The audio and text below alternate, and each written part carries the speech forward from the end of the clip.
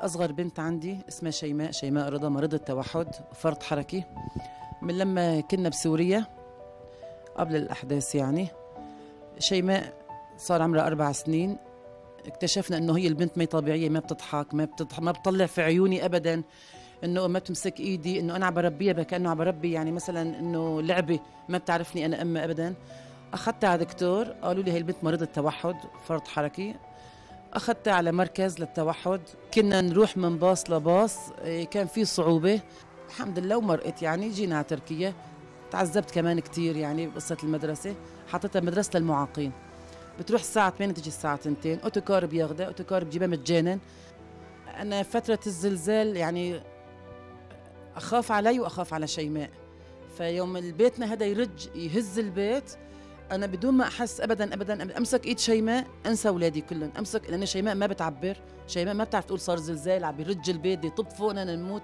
أنا أمسكها هيك وأرقد على حديقتها واشكور عجبنا نحن هون الحديقة. نبرك الثلج وحطينا هيك حرامات. حطينا لها تنكه حطينا لها نار. صرنا نتدفى أنا وياها. تهدى شوي الأمور يعني نشوف الهدي الزلزال. نرجع نجي على البيت.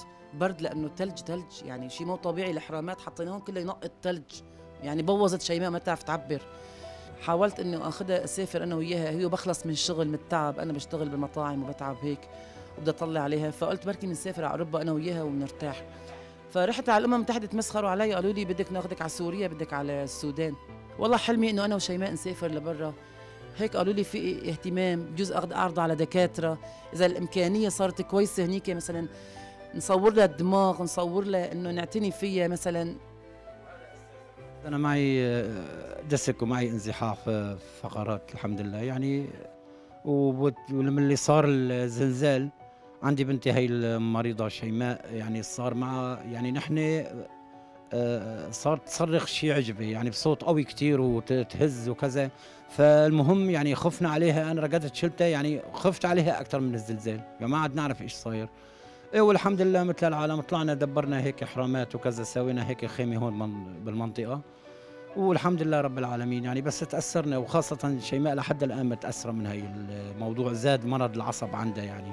يعني أكثر شيء بزعجني كان عندي موتور بنزين واضطريت أبيعه للظروف الصعبة والله مع إني بعدين ندمت كثير ندمت. يعني شيماء دائما بتذكر موتور موتور أنا كنت معلمها كل ما بدي أطلع من الموتور مثلا أجيب شيء شغلات حاجيات للبيت أخذها معي مشان بس تغير جو يعني. إيه الحمد لله رب العالمين. هلا بس هيك الله هيك فرج علينا. بدي أرجع أخذ موتور إن شاء الله لأني أهم شيء دائما تذكره هو الموتور. فهذا اللي مثل ما بقولوا بحز بنفسي.